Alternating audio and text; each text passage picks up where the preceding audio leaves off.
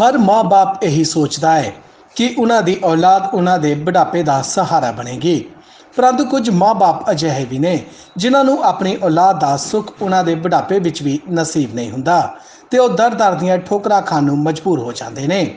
ਅਜਿਹਾ ਇੱਕ ਦਿਲ ਨੂੰ ਝੰਜੋੜ ਦੇਣ ਵਾਲਾ ਮਾਮਲਾ ਸਾਹਮਣੇ ਆਇਆ ਹੈ ਅੰਮ੍ਰਿਤਸਰ ਵਿਖੇ, ਜਿੱਥੇ ਕਿ ਆਪਣੀ ਹੀ ਔਲਾਦ ਵੱਲੋਂ ਠੁਕਰਾਈ ਹੋਈ ਬਜ਼ੁਰਗ ਮਾਤਾ ਪਿਛਲੇ 15 ਸਾਲਾਂ ਤੋਂ ਸੜਕਾਂ ਦੇ ਕਿਨਾਰਿਆਂ ਤੇ ਰਹਿ ਕੇ ਆਪਣੀ ਜ਼ਿੰਦਗੀ ਬਸਰ ਕਰ ਰਹੀ ਹੈ।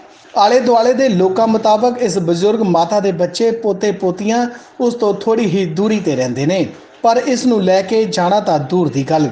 ਕਦੇ ਆ ਕੇ ਇਸ ਮਾਤਾ ਦਾ ਹਾਲ ਚਾਲ ਵੀ ਨਹੀਂ ਪੁੱਛਿਆ। ਇਸ ਬਜ਼ੁਰਗ ਮਾਤਾ ਦੀ ਦਰਿਆ ਦਿਲੀ ਦੇਖੋ। ਇੰਨਾ ਸਭ ਕੁਝ ਝੇਲਣ ਤੋਂ ਬਾਅਦ ਵੀ ਇਹ ਮਾਂ ਆਪਣੇ ਬੱਚਿਆਂ ਬਾਰੇ ਕਦੇ ਵੀ ਬੁਰਾ ਨਹੀਂ ਸੁਣ ਸਕਦੀ ਤੇ ਹਮੇਸ਼ਾ ਹੀ ਕਹਿੰਦੀ ਹੈ ਕਿ ਉਸ ਦੇ ਬੱਚੇ ਬਹੁਤ ਚੰਗੇ ਨੇ ਤੇ ਉਸ ਦਾ ਪੂਰਾ ਪੂਰਾ ਖਿਆਲ ਰੱਖਦੇ ਨੇ। ਗੁਰਦੀਪ ਕੌਰ। ਕਿੰਨੇ ਚਿਰ ਤੋਂ ਇੱਥੇ ਰਹਿ ਰਹੇ ਹੋ? ਹੋ ਹੀ ਗਿਆ। ਪੰਜ ਕੁ ਸਾਲ ਹੋ ਗਏ। ਤੇ ਬੱਚੇ ਕਿੰਨੇ ਆ? ਨੌ। ਤੇ ਘਰ ਨਹੀਂ ਜਾਂਦੇ ਤੁਸੀਂ? ਮੇਰਾ ਆਦਮੀ ਮਰ ਗਿਆ ਹੋਇਆ। ਹੈ। ਹੂੰ ਮੈਂ ਕੰਮ ਕੁਮ ਕਰਕੇ ਆਪਣੀ ਰੋਟੀ ਦਿੰਦੇ ਸਭ ਕੁਝ ਦਿੰਦੇ। ਹੂੰ। ਕੌਣ ਦਿੰਦਾ ਰੋਟੀ ਤੁਹਾਨੂੰ? ਖਰਚਾ ਵੀ ਦੇ ਦਿੰਦੇ ਲੋਕੀ ਵੀ ਦੇ ਦਿੰਦੇ। ਨੇ ਬੱਚੇ ਤੁਹਾਡੇ ਬੱਚੇ ਨਹੀਂ ਦਿੰਦੇ ਕੁਛ? ਦਿੰਦੇ ਆ ਦਿੰਦੇ ਕਿਉਂ ਆਂਦੇ ਨਹੀਂ ਤੁਹਾਡੇ ਕੋਲ? ਹੋ ਰਿਹਾ ਤੇ ਆਪਣੇ ਘਰ ਹੀ ਲੈ ਕੇ ਜਾਂਦੇ ਤੁਹਾਨੂੰ? ਘਰ ਤੇ ਸਾਡੇ ਟੁੱਟ ਗਏ ਆ। ਜਿਸ ਤਰ੍ਹਾਂ ਤੁਸੀਂ ਉਜੜੇ ਫਿਰਦੇ ਹੋ ਇਸ ਤਰ੍ਹਾਂ ਉਹ ਵੀ ਉਜੜੇ ਫਿਰਦੇ ਆ।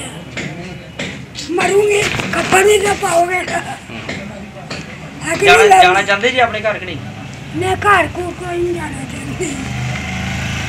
ਮਾਂ ਨੇ ਤਾਂ ਆਪਣੇ ਬੱਚਿਆਂ ਦੀ ਮਾੜੀ ਕਰਤੂਤ ਤੇ ਪਰਦਾ ਪਾ ਦਿੱਤਾ ਪਰ ਬੜੀ ਹੀ ਸ਼ਰਮ ਦੀ ਗੱਲ ਹੈ ਉਹਨਾਂ ਬੱਚਿਆਂ ਦੇ ਲਈ ਜਿਨ੍ਹਾਂ ਨੂੰ ਭੋਰਾ ਵੀ ਤਰਸ ਨਹੀਂ ਆਇਆ। ਕਿ ਜਿਸ ਮਾਂ ਨੇ ਉਹਨਾਂ ਨੂੰ ਪਾਲ ਪੋਸ ਕੇ ਇੱਥੇ ਤੱਕ ਲਿਆਂਦਾ, ਅੱਜ ਉਹੀ ਮਾਂ ਦਰ-ਦਰ ਦੀਆਂ ਠੋਕਰਾਂ ਖਾਣ ਲਈ ਮਜਬੂਰ ਹੋ ਰਹੀ ਹੈ। ਮੇਰੇ ਹਿਸਾਬ ਨਾਲ ਇੱਥੇ ਆਣ ਕੇ ਸਾਰੇ ਲਫ਼ਜ਼ ਖਤਮ ਹੋ ਜਾਂਦੇ ਨੇ। ਮਤਲਬ ਕਿ ਜੇ ਕਿਸੇ ਨੂੰ ਆਪਾਂ ਬਸ਼ਰਮ ਕਹਿ ਦਿੰਨੇ ਆ ਢੀਠ ਕਹਿ ਦਿੰਨੇ ਆ ਉਹ ਸਾਰੇ ਲਫ਼ਜ਼ ਖਤਮ ਹੋ ਜਾਂਦੇ ਨੇ ਇੱਥੇ ਆਣ ਕੇ ਕਿ ਢਿੱਡੋਂ ਜੰਮੇ ਪੁੱਤ ਮਾਤਾ ਨੂੰ ਇਸ ਨਰਕ ਚ ਪਈ ਨੂੰ ਹਰ ਰੋਜ਼ ਦੇਖਦੇ ਨੇ। ਦੋ ਗਲੀਆਂ ਛੱਡ ਕੇ ਮਾਤਾ ਦਾ ਤਿੰਨ ਮੰਜ਼ਲੀ ਘਰ ਹੈ। ਪੁੱਤ ਹੈ, ਪੋਤਰੇ ਹੈ, ਦੁਕਾਨਾਂ ਨੇ ਚਲੋ, ਵਧੀਆ ਆਪਣਾ ਰੋਜ਼ਗਾਰ ਚਲਾ ਰਹੇ ਆ, ਪਰ ਮਾਂ ਲਈ ਸ਼ਾਇਦ ਉਹਨਾਂ ਦੇ ਦਿਲ 'ਚ ਵੀ ਨਹੀਂ ਜਗ੍ਹਾ ਹੈਗੀ, ਘਰ 'ਚ ਤਾਂ ਬੜੀ ਦੂਰ ਦੀ ਗੱਲ ਹੈ। ਤਾਂ ਇਸੇ ਤਰ੍ਹਾਂ ਮਾਤਾ ਜੀ ਨਰਕ 'ਚ ਪਏ ਰਹਿੰਦੇ ਨੇ। ਤਾਂ ਕੋਸ਼ਿਸ਼ ਕਰ ਰਹੇ ਆ ਕਿ ਮਾਤਾ ਨੂੰ ਕਿਸੇ ਲੇਡੀਜ਼ ਆਸ਼ਰਮ ਦੇ ਵਿੱਚ, ਬਾਕੀ ਮੈਂ ਪ੍ਰਸ਼ਾਸਨ ਨੂੰ ਬੇਨਤੀ ਜ਼ਰੂਰ ਕਹਾਂਗਾ ਕਿ ਅਜਿਹੀਆਂ ਘਟਨਾ ਸਾਡੇ ਸਮਾਜ 'ਚ ਕਿਉਂ ਹੋ ਰਹੀਆਂ ਨੇ? ਆਪਾਂ ਇਹ ਪੋਸਟ ਦੇਖ ਰਹੇ ਆ ਕਿ ਇੱਕ ਮਾਂ 4 ਬਾਈ 4 ਦੇ ਚਬੱਚੇ ਵਿੱਚ ਬੈਠੀ ਹੋਈ ਪਈ, ਉੱਥੇ ਕੀੜੇ ਪੈ ਗਏ, ਮਰ ਗਈ। ਤਾਂ ਬੱਚੇ ਕਿੱਡੀਆਂ ਵਧੀਆ ਪੋਸਟਾਂ ਤੇ ਨੇ। ਕੀ ਕਰਨਾ?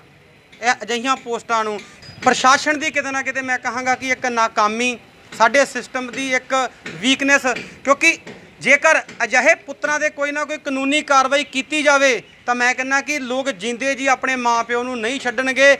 ਇੱਥੋਂ ਤੱਕ ਪ੍ਰਸ਼ਾਸਨ ਨੇ 15 ਦਿਨ ਮੇਰੇ ਨਾਲ ਪੂਰੀ ਵਾਹ ਲਾਈ, ਜਿਹੜੀ ਵੀ ਚੌਂਕੀ ਇਸ ਇਲਾਕੇ ਨੂੰ ਪੈਂਦੀ ਆ, ਉਹਦੇ ਬੱਚੇ ਚੌਂਕੀ ਤੱਕ ਨਹੀਂ ਗਏ।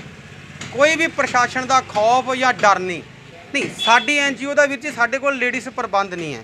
ਪਰ ਅਸੀਂ ਕਿਸੇ ਨਾ ਕਿਸੇ ਸ਼ੁਭ ਕਰਮਨ ਆਸ਼ਰਮ ਹੈ, ਲੁਧਿਆਣਾ ਦੇ ਵਿੱਚ, ਉਹ ਭੈਣ ਜੀ ਨਾਲ ਗੱਲ ਕਰਾਂਗੇ। ਮੈਡਮ ਡਾਕਟਰ ਸਿੱਧੂ, ਸਾਡੀ ਭੈਣ ਜਾਂ ਬਾਬਾ ਦੀਪ ਸਿੰਘ ਸੇਵਾ ਦਲ, ਅਸੀਂ ਖੜ ਸਕਦੇ ਆ ਮੈਂ ਇੱਥੋਂ ਲਿਖਤੀ ਕਰਕੇ ਪ੍ਰਸ਼ਾਸਨ ਕੋ ਮਾਂ ਨੂੰ ਲੈ ਕੇ ਜਾ ਸਕਦੇ ਆ